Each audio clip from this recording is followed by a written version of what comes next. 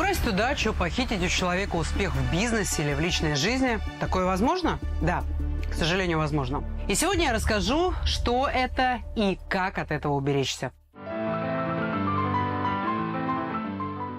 Графиня Елизавета Батарея из-за своей зависти к красоте и молодости других женщин убила несколько сотен человек. В своем подземелье она жестко мучила юных девушек, чтобы отобрать у них красоту. Не хочу вдаваться в подробности, слава богу, эта жуткая графиня осталась в прошлом. Но страшные истории все же случаются и сегодня. Однажды ко мне на прием пришла Ирина. Очень худая, с венами, проступающими сквозь кожу. Под глазами синяки, волосы почти сплошь седые. На вид за 50. И каково же было мое удивление, когда оказалось, что ей всего 38 лет. Ирина рассказала мне, что она историк музыки.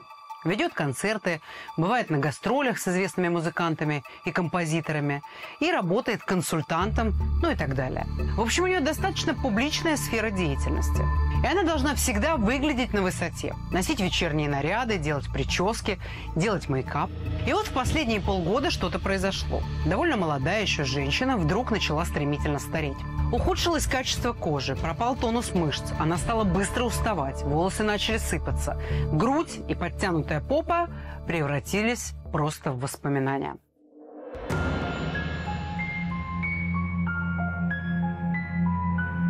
Кто-то из коллег пожалел Ирину и сказал, что это очень похоже на порчу. Надо бы обратиться к какому-нибудь чародею, экстрасенсу или ясновидящему.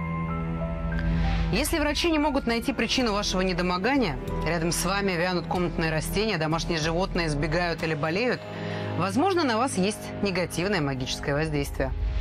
Довольно долго Ирина не могла с этим примириться. Она дама высококультурная, образованная, пойдет к кому? К какой-то бабке? Но в конце концов все-таки Ирина узнала обо мне. И я показалась ей человеком, которому может она довериться.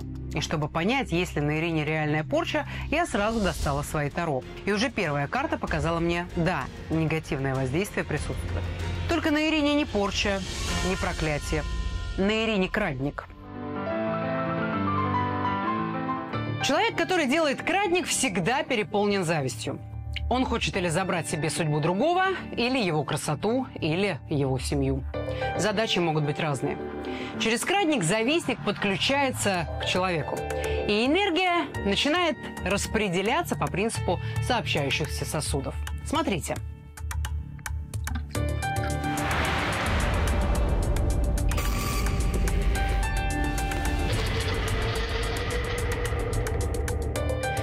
Добавим еще.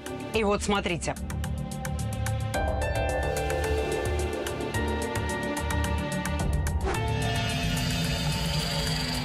Опять у крадника столько же.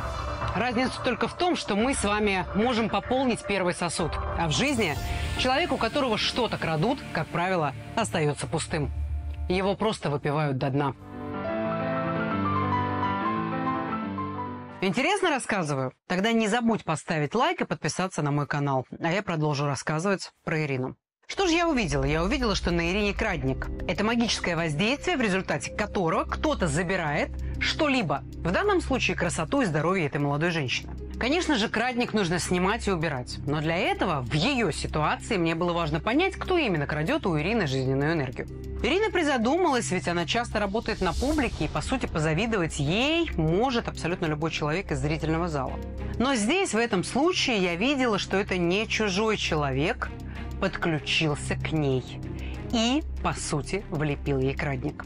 Крадник был в ее случае связан с кем-то, кто взаимодействует с ней напрямую.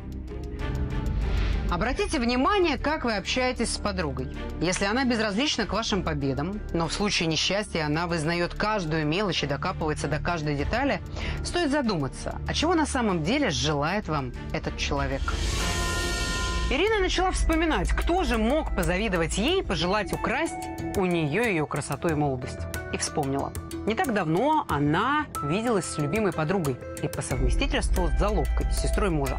Они обсуждали дела семейные и заодно перетерли косточки всем подряд. И вот заловка обратила внимание Ирины на концертмейстера, полненькую девушку, с которой Ира часто бывала в командировках. Назовем ее условно Татьяна. «Уж очень она тебя хвалила», — сказала Заловка. Наверняка из зависти. У нее фигура с твоей не сравнится. Но мои карты как раз показывали, что комплименты, которые делает Татьяна Ире, на самом деле были искренними. Что ж, нам нужно было искать дальше, чтобы понять, кто же все-таки сделал крадник.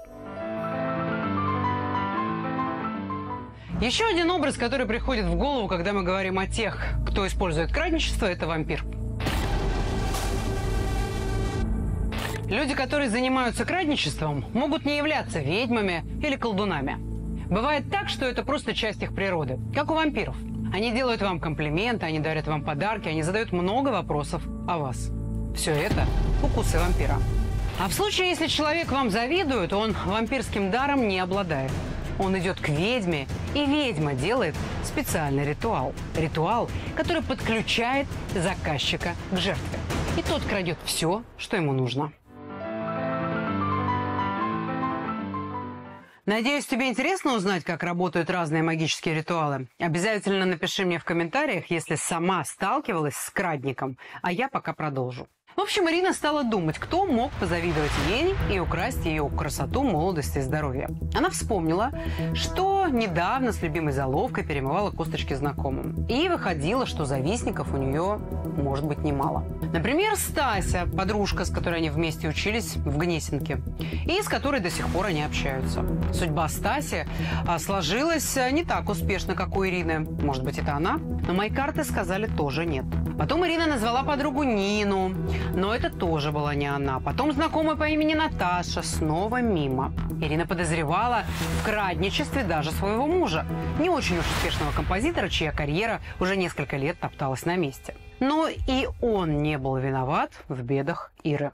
И вот тут я хочу обратить ваше внимание на один факт. Вокруг Ирины оказалось так много людей, которых она готова была подозревать в зависти и подлости. Но ведь в большинстве случаев свое окружение мы, по сути, выбираем с вами сами.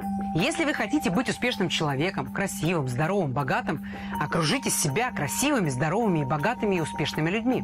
Если вы всю жизнь будете общаться только с неудачниками, вы сами навсегда останетесь неудачником. Почему? Потому что подобное притягивает подобное. Это закон. Возможно, сейчас мои формулировки грубые, но тем не менее факт остается фактом. Крадничество – это когда вы одна в своем болоте чего-то достигли, а другая жаба вам позавидовала. Так вот, вернемся к истории Ирины. Нужно было понять, кто мог ей так позавидовать, что забрал у нее с помощью магии здоровье, молодости, красоту. Ирина перечисляла разных людей своего окружения, которые были ниже ее по статусу. Но мои карты Таро Райдес говорили, что никто из них не делал ей зла. Тогда я подарила Ирине амулет из натурального аквамарина. Он должен был защитить женщину от лжи. Раз мы не можем вычислить недоброжелателя, тогда носите его постоянно. Посоветовала тогда я ей. Аквамарин развяжет язык завистнику. Уже через какое-то время, достаточно быстрое, Ирина перезвонила мне и записалась на прием. И сказала, что вычислила злодея. То есть злодейку. Это ее любимая заловка по имени Инга. Да-да, та самая, с которой они все обсуждали. Та, которой она доверяла больше всех. Заловка сама призналась, что заказала знакомой ведьме сделать крадник, чтобы Ира лишилась своей красоты и здоровья.